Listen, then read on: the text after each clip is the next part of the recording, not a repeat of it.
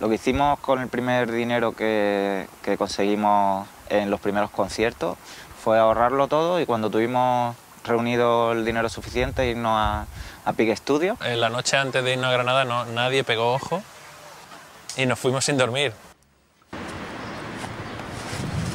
Eso si quieres lo llevo yo entre las piernas adelante o como quieras. Ese día venían sin dormir y tal, y nada, muy nerviosos porque era su primera experiencia así en un estudio importante y tal. Y bueno, Nopiki ya había grabado allí en Pig Studios y él fue un poco como, como la unión entre nosotros y Javi y toda la gente que, que estaba por allí en Granada. ¿Cómo va eso?